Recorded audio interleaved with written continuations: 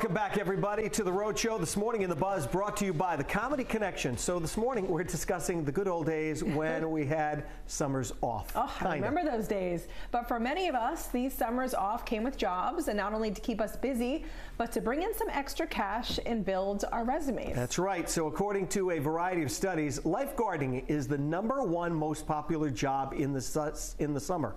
Pools are always busy, making it often the most available option as well. That's right. So camp counselor comes in second, being a great option for people looking to work with kids in their future careers, and that's followed by pet walking or sitting. hmm Come to my house. Other uh, other jobs you might not have thought of are ride operators at amusement parks, which sounds like fun, Mm-hmm. car wash attendants, or being a gardener.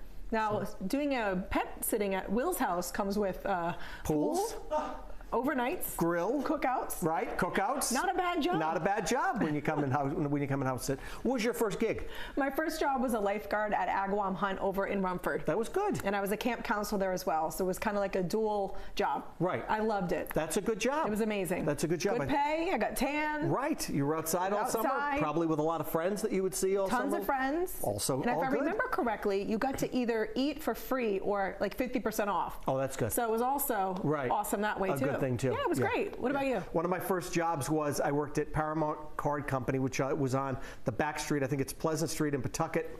As you're making the bend, my mother knew someone who worked there, so it was me and a bunch of older ladies. Oh. They would put all of the cards, like regular like greeting cards, Yeah, together. yeah. They would put them in smaller bo- boxes and then put them in cardboard boxes. I would take the cardboard boxes, bring them into the the uh, the, the other room and and stack And them. stack them up. And then I worked at because I lived over near USA, the roller skating. Yeah. So I would go down the hill and I would I would play the music while you were roller skating. See? Huh? I said that had to be a great job. I- Air conditioning. We did a story about maybe four years ago, and I went there, and it's it looks the same, but it was so like nostalgic to be back there in that little tower thing, and it was in, back when you play records. Yeah. Yes, and I loved it. Those are the I days. It. I mean, yes. I, I have all my sons working at a snack bar this summer. Good at, gig. At Kembrin over in East Providence. And you know what? Like we said, it builds character. Right. Got to deal with the public. Got to make food. Right. Got to make people happy. Sure. So it's, you know, I don't know if it's like their dream job, Right. but it's their summer It's a summer job. summer job, and then I also my one of my first other jobs was Burlington Coat Factory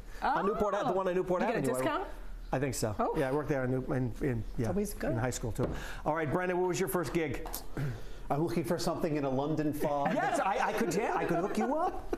That in a suit, I could hook you up. Burlington Coat, Newport Avenue. Do they still make London fog I think they do. and I I think They so. do. Yeah, yeah, Yeah, they yeah, do. yeah. I'm sorry. Should we take a field trip to Yeah, Burlington maybe right we now? yeah. We're gonna take a field trip. Be a trench coat. Sure. Uh, I remember I worked at Jamie's Shoe World. That Yes. was mine. I, could- I loved it because I could get a discount on sneakers. Right. Did you measure feet? No, I worked in the stock room. So I was in charge of organizing the footwear by size. But you know, it taught me I, responsibility. I had to be somewhere, and more importantly, I got a discount on Jordans. That's great. And that's all I wanted when I was 15. Right. I'll tell you, that was a that was the place to go when we It were was, teenagers. yeah. So you must have been busy. It's all I want now, actually, is Right. a discount on footwear. But yeah, it, ta- it taught you a little something. Uh, you, you learned about responsibility, and yes, you learned a lot about people and dealing Oh with them. yes, it was so much fun. What do you mean you don't have this? I, I know I'm an eight and a half. Anyway, let's check in with our viewers to see what you had to say when it comes to summertime jobs. Greg is up first. I love this one. Oh, come on. I worked at Crescent Park. Oh, oh Yeah. On the carousel for about three summers. It was the absolute best. Yes, that's an historical landmark, and I'm sure a fun place to work. Tracy adds, I was a beach bum. It's a real job taking care of children at the beach. well, I guess you do have to keep an eye on them. You do. Yeah, I guess so. In between trips to the snack bar where Audrey's children are getting your snacks. Making your burgers. Thank you. Dennis I recalls, trust William. recalls fondly, I worked in a factory, ER Hutchinson, assembling point of purchase display cases. No AC, oh, that's the worst, but lots of fun. Looking back on it, a bunch of high schoolers worked there. Yeah, you have memories. Yeah, it was hot, but everyone was there working together, and you look back fondly. And Tina closes out the comments today with a great memory. I worked at McCoy Stadium. Oh, yeah. For the Paw Sox for seven years. They were the best seven summers of my life. I bet. You just recall those times and you remember learning something in the friendships that you made. Thanks for chiming in, everyone. Please keep those comments coming. Follow us at The Rhode Show on Facebook, X, and Instagram. And you never know, we may read your comment right here on the air. Ooh, so Ooh. close. Still back on this.